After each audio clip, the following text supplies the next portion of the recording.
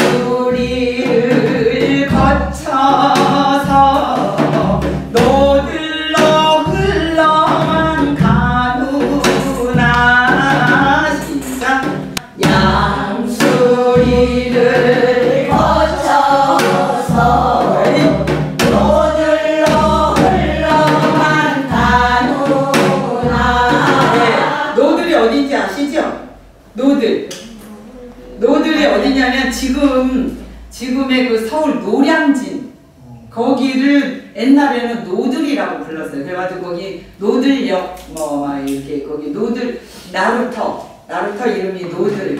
음. 지금의 그러니까 노량진을 이제 옛날에는 이제 노들이라고 불렀어요. 음. 양구하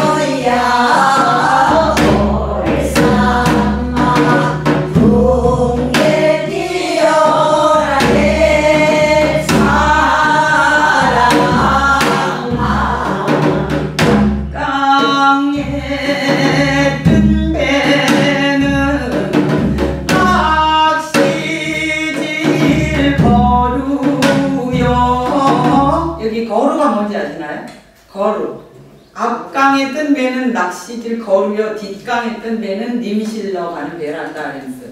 거루. 안 들어보셨죠? 그런 말.